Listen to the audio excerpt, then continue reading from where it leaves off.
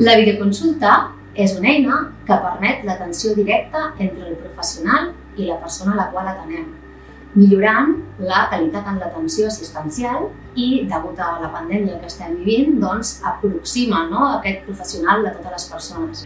En la videoconsulta també és important conèixer el pacient, com, com totes les consultes presencials, però eh, ja aporta una informació que la consulta telefònica no existeix i que pot comportar una millora de qualitat en aquesta atenció. Hola! Ets el mare del Jan?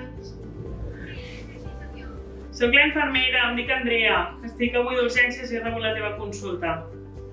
A diferència de les trucades telefòniques, la videoconsulta permet tenir un contacte visual i dona una sensació de proximitat que és molt ben valorada pel, pel pacient.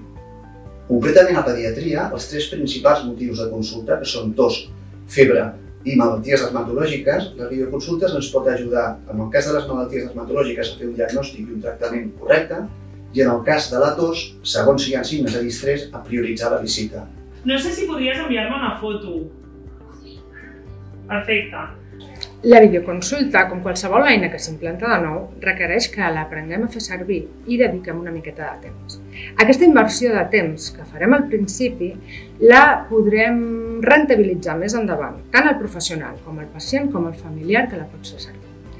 Abans d'utilitzar-la, és recomanable que la fem servir amb companys de feina, amb coneguts o amb familiars i no la utilitzem amb pacients abans de que tinguem un bon domini. Eh, sempre recordaré, per això continuo fent les videoconsultes, un dels primers casos que va ser una, una noia que no coneixia, que tenia el Covid i que, segons eh, l'entrevista telefònica, doncs no tenia criteris de gravetat. Però no ho tenia molt clar. I li vaig proposar per què no us fem una videoconsulta aquell mateix dia. Aquell mateix dia vam poder fer una videoconsulta i li vaig donar mal aspecte i tenia dificultats per fer esforços per, per respirar a la videoconsulta, amb la informació visual, vaig interpretar que possiblement hi havia alguns criteris de gravetat, la vaig enviar a l'hospital i va ingressar a una Molt bé, a tu. Que vagi molt bé, gràcies. Adéu.